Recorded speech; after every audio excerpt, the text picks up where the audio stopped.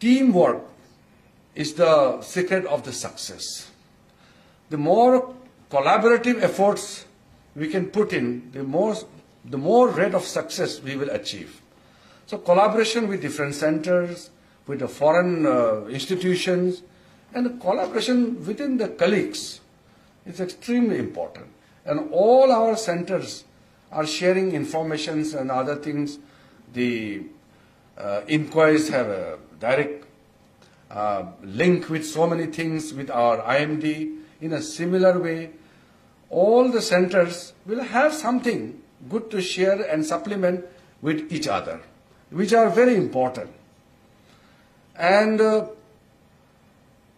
with the kind of support which we are getting from the leadership, from the Honorable Prime Minister, in the days to come, the role of our ministry is going to be much more than what we have and what we are doing right now.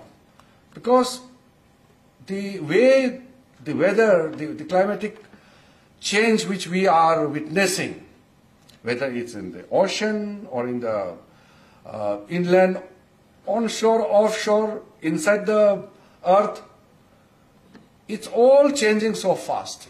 We are observing it with our own naked eyes. Within our own lifetime, we have seen so many changes. So the role of the scientific community will play a critical role.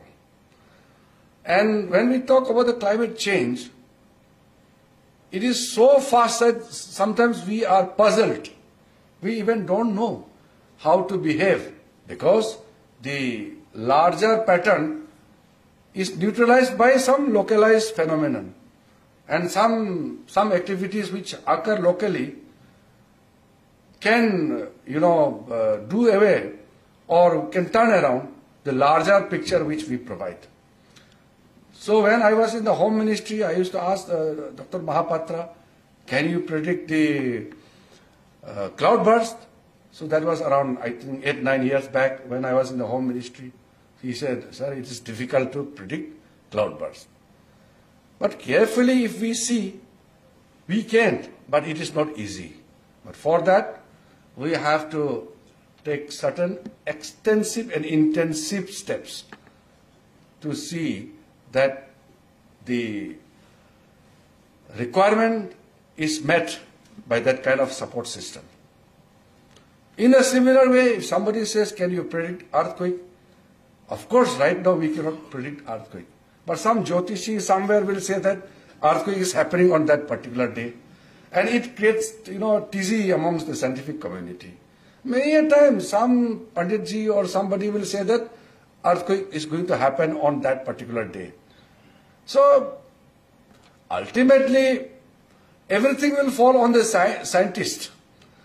So, but I am very sure that in the days to come, all our seismologic research which is going on will definitely give some clue. We know what is happening, but we can't predict.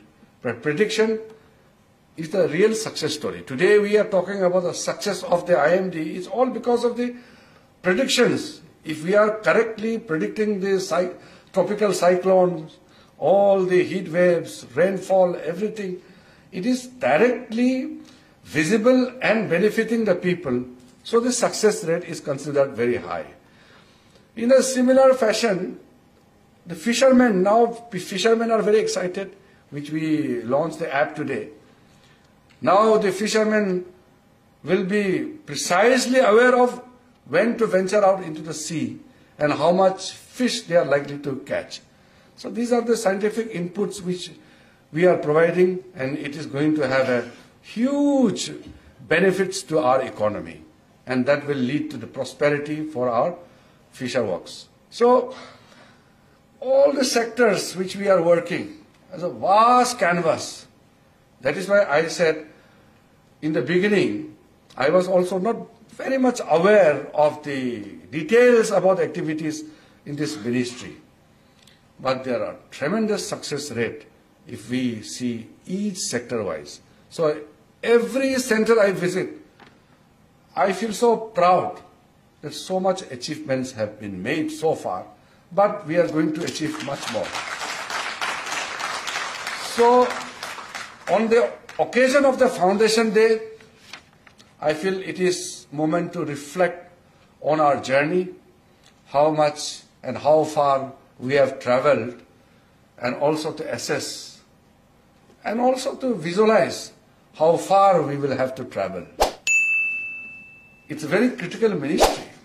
I realized when I visited Norway last month, the, the whole their um, government have put so much of emphasis on the climate, on the uh, blue economy, the deep ocean activities, all the activities in the polar region. So definitely now the common man of India are also talking about climate change, which was not even a topic of discussion some decades back, but now it is a priority for every nation.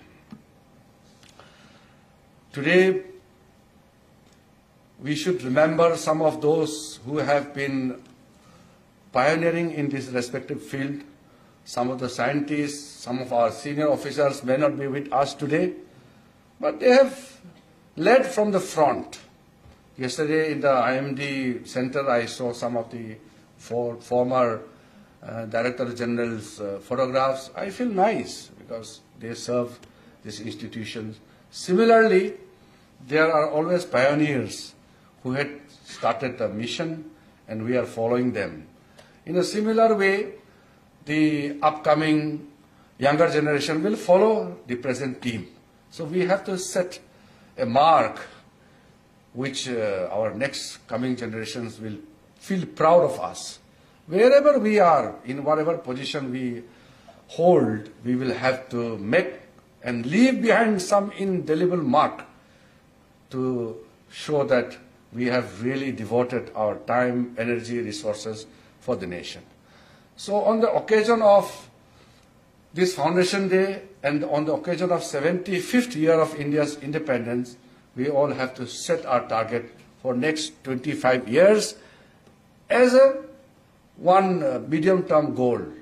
And beyond that also, we will have the long journey. But in 2047, where will our ministry be? Each center must set some agenda. So I would like to request all the head of the uh, institutions, our directors and senior officers to make a visionary document or visionary some kind of target for each center to be uh, achieved in next 25 years so that when India becomes a fully developed country, which Prime Minister has already committed, in 2047, where will we be? Our ministry as a whole will have a vision, but each center must set a target. And that will be a good benchmark for all of us to follow.